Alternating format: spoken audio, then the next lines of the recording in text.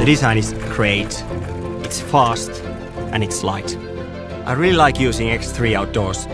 The quality of the camera is extremely good, crystal clear and sharp. What really caught my attention was the quality of the sound and the speakers. You can use it anywhere.